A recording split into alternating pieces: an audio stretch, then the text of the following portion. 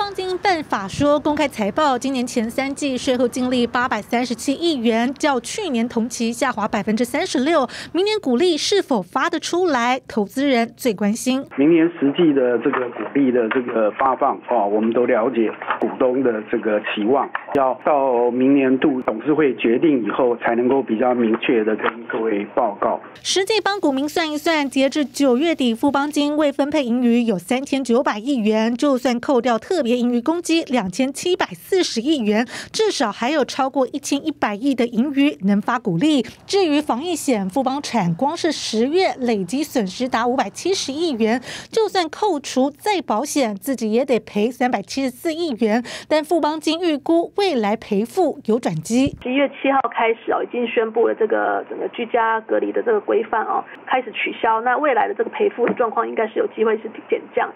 那以及这个整或者这个疫情的高峰已经过了哦。那目前来说，我们是没有这个增资的这个需求哦。那呃，我们在八月底已经完成了一百五十亿的增资。随着疫情降温，防疫政策逐渐松绑，防疫险收尾，保险公司渴望明年能止血。金星闻吴雅婷、黄冠伟采访报道。